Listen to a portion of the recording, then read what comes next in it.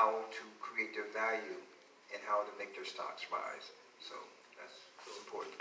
So if I wanna buy your piece, how, I mean, how can I, let's say I love what I see and I wanted to pay for it. How do I? Uh, you get in touch with, um, my general manager, Kanisha Coleman, and she has a list of all of the work and there, and it's in a portfolio. And I'll invite you over to the gallery, and then you can see, uh, how that works also. Awesome, thank awesome, awesome. Thank you, everyone. Thank you